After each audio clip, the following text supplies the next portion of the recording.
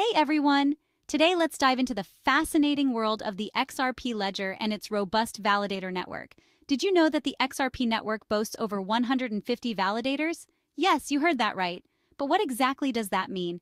Let's break it down. Validators play a crucial role in maintaining the integrity of the XRP ledger. Think of them as gatekeepers who verify and approve transactions, ensuring everything runs smoothly and securely. Out of these 150 plus validators, more than 35 are part of the default unique node list, or UNL.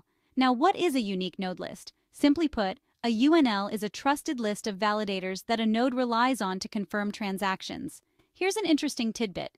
Ripple, the company behind XRP, runs just one of these validators.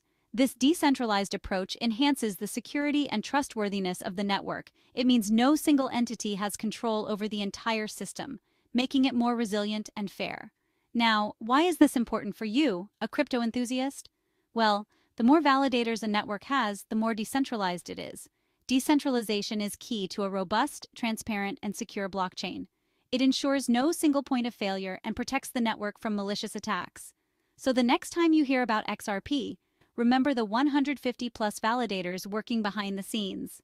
They're the unsung heroes keeping the ledger secure, reliable, and decentralized. Thanks for tuning in.